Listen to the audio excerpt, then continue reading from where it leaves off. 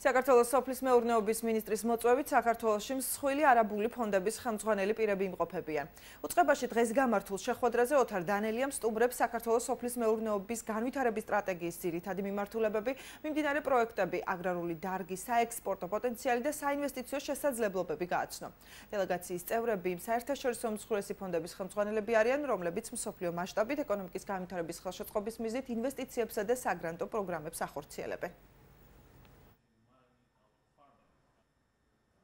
არაბული ფონდების ხელმძღვანელი პირები გახლავთ ჩამოსული საქართველოსში, ეს გახლავთ ჩემი მოწვევით, რამოდენიმე დღიანი ვიზიტია, სადაც დეტალურად შეისწავლიან საქართველოსში საინვესტიციო გარემოს.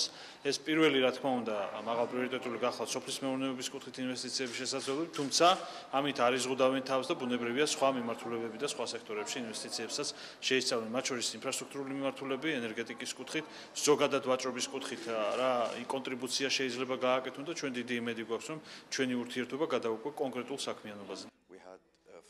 დღევანდელი შეხვედრა საკმაოდ ნაყოფიერი და საინტერესო იყო იმ თვალსაზრისით, რომ დღეს ჩვენ მქონდა პატივი შევხვედროდით საქართველოს სოფლის მეურნეობის მინისტრს.